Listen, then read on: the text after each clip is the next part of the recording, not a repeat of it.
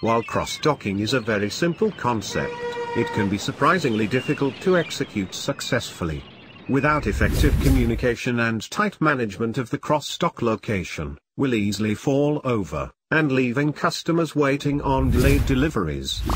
The following six tips will help you to organize people, processes, and facilities to prevent subpar cross-dock efficiency from hampering your logistics operation. First 1. Use conveyors if you can. Gravity rollers can greatly reduce the need to handle goods. They should be used if possible to move pallets, or cartons between unloading and loading doors in your cross-dock facility. Second, keep on top of housekeeping.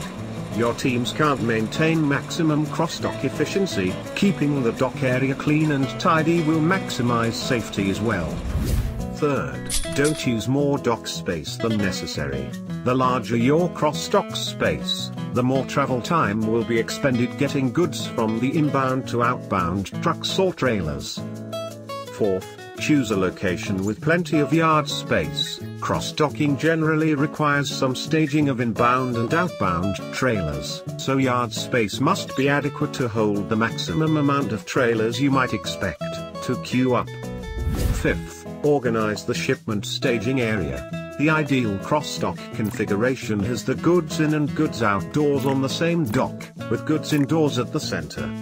Sixth, Make use of technology, ideally you will want your cross-docking operation under the control of a WMS or TMS solution. You will also want to be sure your staff can receive advanced alerts of inbound goods via shipment notifications from suppliers. If you put a good team in place and follow the 6 tips in this guide, you should have all you need for a cross-dock operation that truly benefits your supply chain streamlining and speed. So that's your 6 tips. Don't forget to like and subscribe to Logistics Bureau and have a good day.